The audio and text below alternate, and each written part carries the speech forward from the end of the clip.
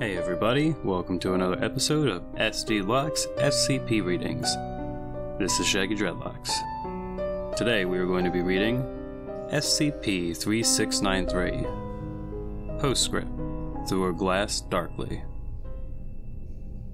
Item Number SCP 3693 Object Class Euclid Special Containment Procedures SCP-3693 is contained within a secure storage vault at Site-19.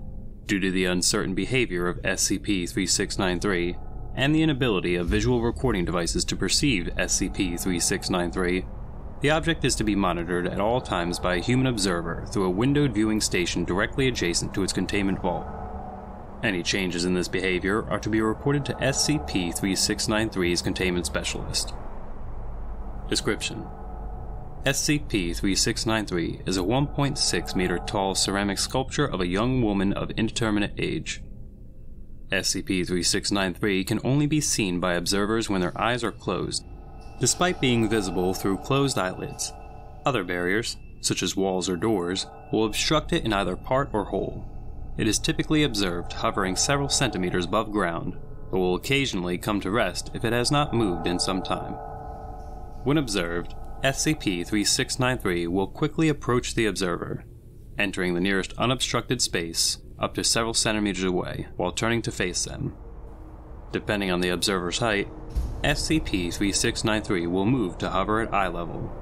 If the observer moves from their original position with their eyes still closed, SCP-3693 will follow in front of them. If the observer moves from their original position with their eyes still closed, SCP-3693 will follow in front of them, maintaining the same distance at all times. Once the observer opens their eyes, SCP-3693 ceases all movement.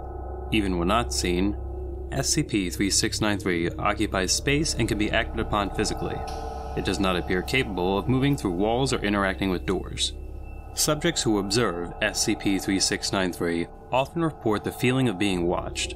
Long-term exposure typically leads to moderate unease, SCP-3693 has taken no hostile action while within Foundation custody.